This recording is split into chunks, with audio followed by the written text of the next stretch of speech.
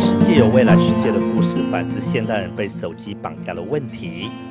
现代人被手机绑架，然后我们剧中是使用了一个近现代的科技记装置去取代手机通讯的功能，然后主角在剧中是一个习惯使用立装置去进行沟通的人，然后他在一个地方里面遇到了一群就是不使用立装置的人，然后他开始思考就是科技的便利性，去让他们可以更快速的去进行沟通，但是他们也相对的是否去缺少了感情的传递。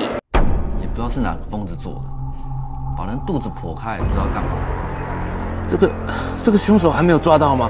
没抓到很好啊，多几条命案，我们可以顺理成章多跑几趟新闻。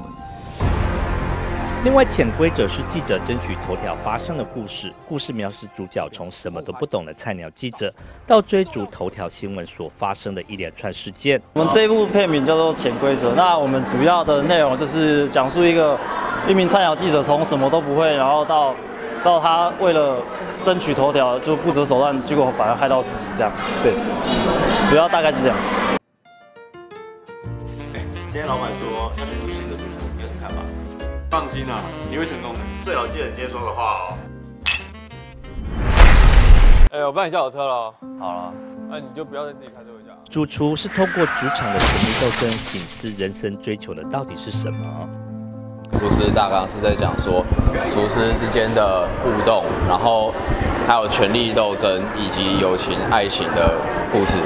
对，然后我们透过厨师之间的互动来呈现我们想要表达的利益关系。待大学视传系即日起到二十二日，在校内设计学院一楼展览厅举办第二十三届毕业展 d e b o 的无边界，展出二十二组的作品。呃，我们是想要在鹿港妈祖那呃妈祖天后宫那边办一个帮妈祖办的一个嘻哈的生日派对，这样。对，那周边商品有哪些呢？我们目前是有快报，然后还有呃浮水的冷泡茶，还有大猪公跟巧克力棒。底波的无边界，然后我们想要借由这次的主题为斜杠族重新定义。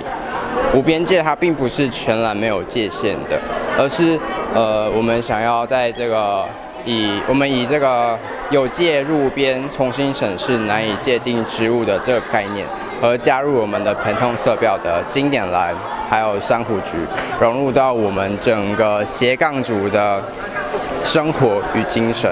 无边界不是全然的没有界限，而是从斜杠青年的精神出发，重新定义，在有框架、有界限的社会中找到突破点，尝试发现新世界无限发展的可能。